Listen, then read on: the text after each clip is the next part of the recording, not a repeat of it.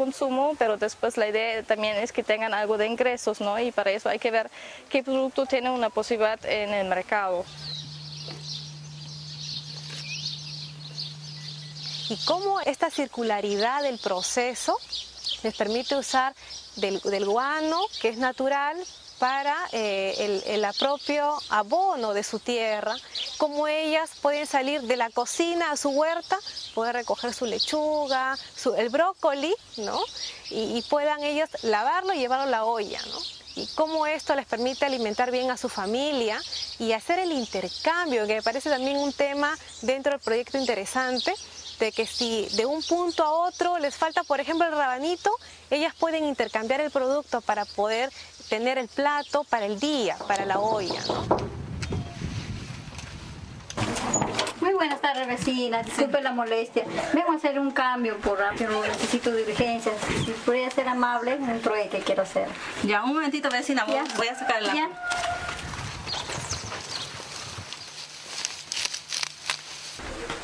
Ay, muchísimas gracias. Gracias, vecina. Ya, vecina. Gracias, luego. Gracias.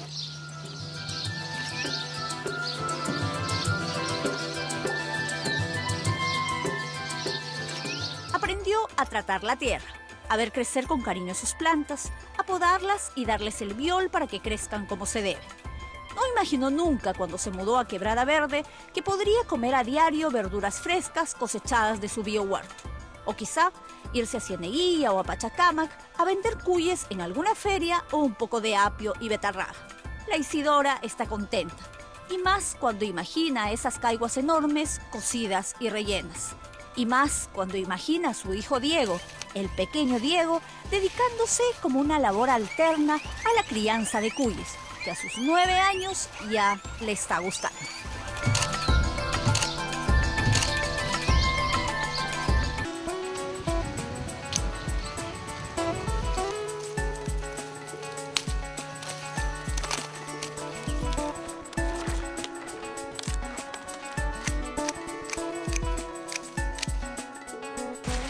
Las vainitas. Mamá, ya faltan las colibruselas, ve tú y yo me quedo empaquetando las, las hierbas. acá. Esta es la vainita filete. Sí, acá mismo le, le coges las colibruselas y yo me quedo empaquetando.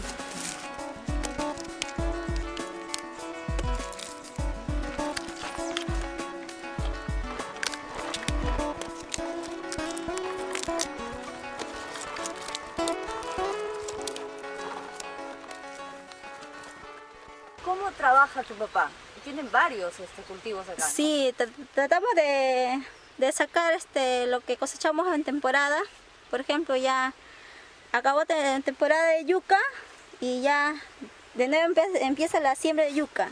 Siembra de yuca y ya este, mira, no pierde espacio y ya lo ha sembrado ahí vainita. Esta vainita que ya está por terminar, él ya ha sembrado y ya lo va a sacar nuevamente para no perder, o sea, que siempre haya, pues tenemos en, en escalas.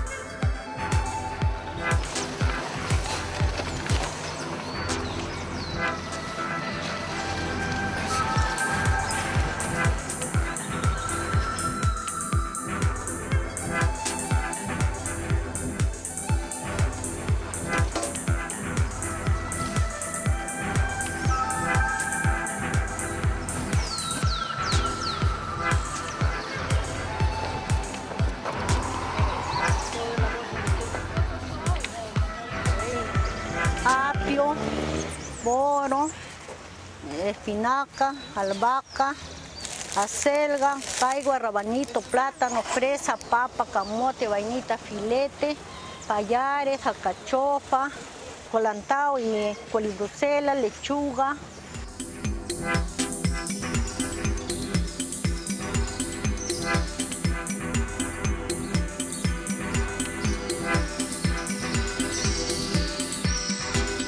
Bioferia fue inaugurada en 1999.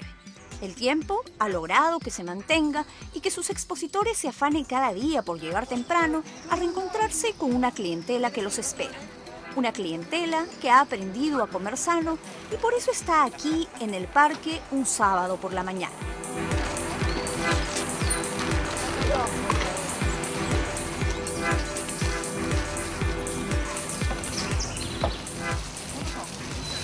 Un producto orgánico viene desde lo que es la producción cómo, y de las personas que lo están cultivando. Un producto orgánico tiene que ver desde productos animales con la crianza del animal, cómo está siendo alimentado ese animal, tiene que estar pastoreado, tiene que estar feliz, tiene que estar libre y las familias y las personas que lo cuidan también deben ser una, una familia que tenga valores ecológicos, que cuide el medio ambiente, que en su alimentación también eh, consuma sus productos, porque no solo es vender, es ser eh, autosostenible en su propia comunidad, ¿no?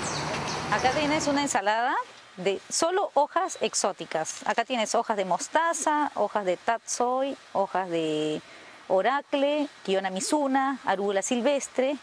Todas son hojas de sabores intensos. Yo te la enseño así porque esta es la kiona misuna. Y a la hora que les echas el aliño, tienes una ensalada estilo oriental. Bueno, mucho depende del aliño también, ¿no? cómo es ese aliño? Es una vinagreta, es una vinagreta en base a salsa de tomate y soya, que la puedes probar. Es un sabor muy, muy intenso, muy interesante. No hay lechugas ahí. Claro, ¿y qué haces? ¿Lo, lo mezclas? Lo mezclas y te lo vas comiendo y súper agradable. Tiene razón con lo del sabor intenso, ¿ah? cada hoja tiene su sabor. Tienes unas hojas picantitas. ¿Y eso cómo aprendes? ¿Cómo sabes todo esto? Bueno, son las hojas que tenemos en el huerto de lo que sembramos y ya uno va creando de acuerdo a lo que vas sintiendo el sabor, vas viendo con qué lo puedes combinar y cómo lo puedes acompañar, ¿no? Creo que entra también ese ingrediente de, conocer tu producto, ¿no? Estar cerca de él, ¿no? De cuidarlo y todo eso, ¿no? Una manera de, saber lo que ofreces. Claro. ¿No? Cómo lo puedes preparar o cómo puedes ofrecerlo como para sugerencias, ¿no? Claro. De cada producto.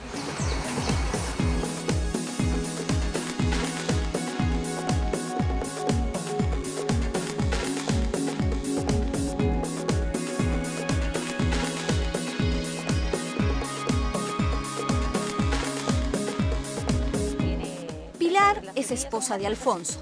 Viven en el Fundo Don Torcuato, en la urbanización Casablanca, en Pachacámac. Allá, entre el huerto y el restaurante, han fortalecido una propuesta orgánica que los ha vuelto creativos.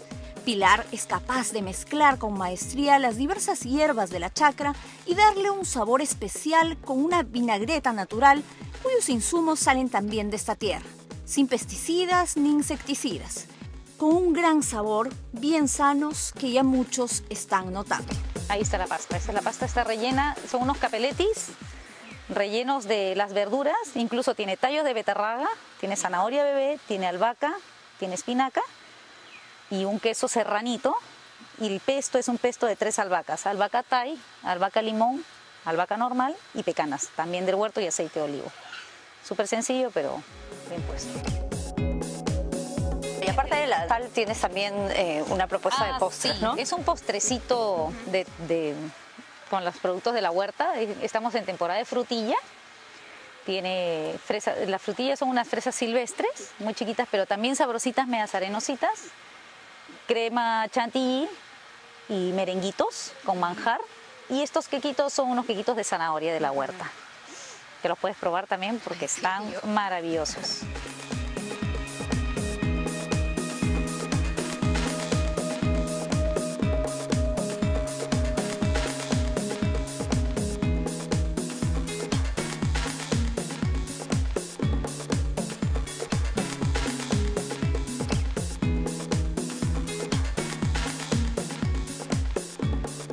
Exactamente. Nuestra verdura es ecológica, no usamos ninguna insecticida, nada, todo es orgánico.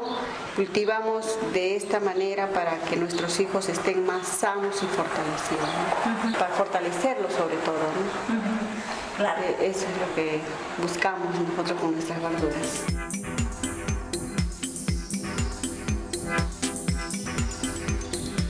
Y de los buenos ejemplos hay que saber aprender, porque esto es para, quitarse el sombrero. ¡Para quitarse el sombrero!